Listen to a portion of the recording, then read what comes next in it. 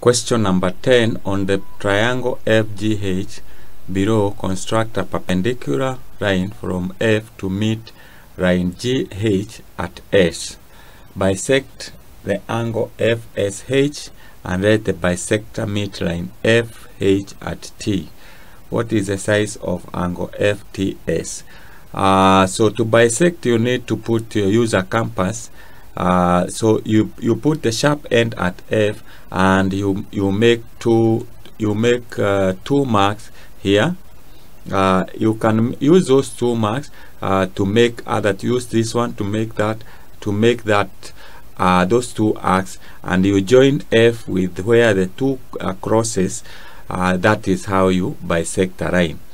Then from there uh, you'll be able to get uh, the, the the aligned uh, joining uh, that is uh, that is uh, let's say that is your S. Uh, so you are supposed to but you are required to FSH you bisect you know how to bisect an angle. You make two arcs like that. Uh, make another one using the two marks and you draw a line uh, that will bisect the angle. Then uh, it will meet uh, FH at T uh, then you measure FT F uh, that is FTS uh, so this angle after you do the correct uh, uh, drawing.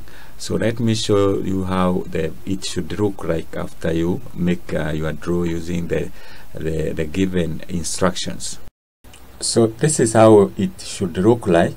So you bisect you drop a perpendicular.